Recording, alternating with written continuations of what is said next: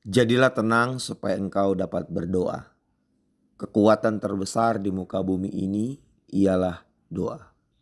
Mengapa? Karena di situ kita terhubung dengan pribadi yang menciptakan segala yang ada, baik yang di atas maupun yang di bawah. Ia yang telah memiliki kuasa ketika kita bisa ada dalam hadiratnya. Saya yakin ada energi khusus yang dia lepaskan bagi kita. Sehingga kita dimampukan untuk terus melangkah. Tidak terhenti dan menuju pada garis akhir. Bapak Ibu kekasih di dalam Tuhan, kiranya damai sejahtera turun atas tiap kita. Sehingga kita bisa diam dalam hadirat Tuhan, merenungkan dan menerima petunjuk-petunjuk teknis di tiap persimpangan kita memilih jalan yang benar dan menikmati hasil dari ketaatan yang kita berikan di hadapan Tuhan. 2 Korintus pasal yang keempat saya lanjut. Kalau kemarin kita berhenti di ayat yang ketujuh, namun pada kesempatan ini saya mulai untuk kembali membaca ayat yang ketujuh. Tetapi harta ini kami punyai dalam bejana tanah liat supaya nyata bahwa kekuatan yang melimpah-limpah itu berasal dari Allah, bukan dari diri kami sendiri. Paulus sadar betul bahwa kekuatan, karisma, bahkan karakter yang dia miliki itu berasal daripada Tuhan yang membentuk kehidupannya. Kenapa Tuhan begitu baik? Karena Paulus konsisten untuk bangun hidupnya saat dia kembali ke hadapan Tuhan. Ayat 8 kekuatan itu seperti apa Bapak Ibu? Kekuatan itu diterjemahkan Paulus di ayat ke-8 dan 9. Dalam segala hal kami ditindas namun tidak terjepit. Kami habis akal namun tidak putus asa.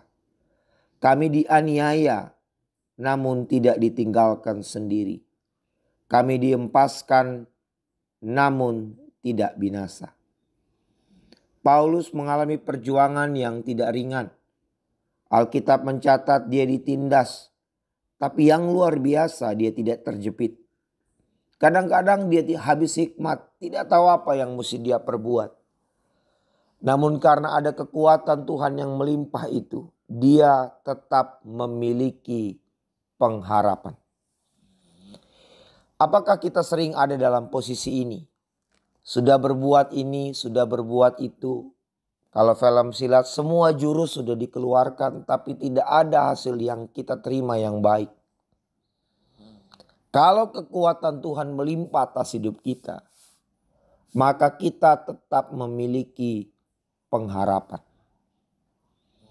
Jangan pernah ragu kalau saudara keluar di tengah keadaan di mana mendung itu begitu kelam di siang hari, bukan berarti matahari itu tidak terbit.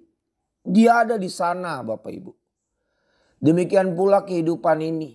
Kalaupun ada banyak tantangan dan rintangan, entah itu kesehatan, entah itu keuangan, entah itu hubungan, entah itu karir, kita sedang ada dalam perjuangan atau pertandingan menghadapi hal-hal yang baru saja saya sebutkan tadi.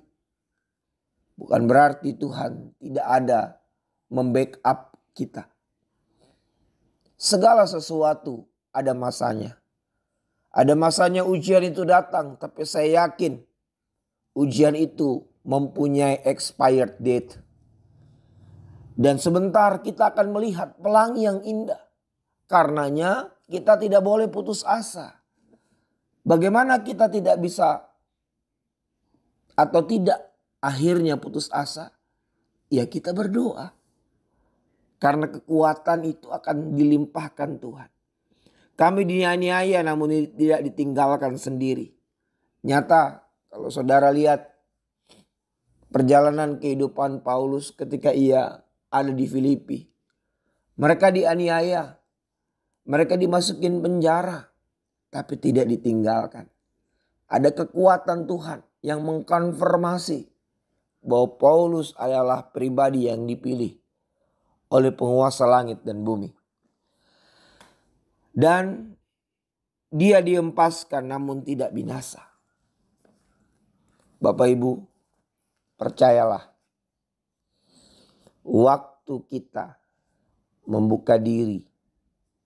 Waktu kita berkata, Tuhan, tanganku kuangkat karena aku terbatas. Aku percaya bahwa Tuhan sanggup untuk membuka jalan sama seperti Tuhan buka jalan di Laut Tiberau. Sama seperti Tuhan buka jalan membendung aliran sungai Yordan. Waktu Tuhan bilang tembok yang besar dan tak mungkin dirobohkan itu bisa runtuh karena ketaatan. Kami pun percaya bahwa bersama-sama dengan Tuhan, kami cakap menanggung segala perkara. Jadilah tenang,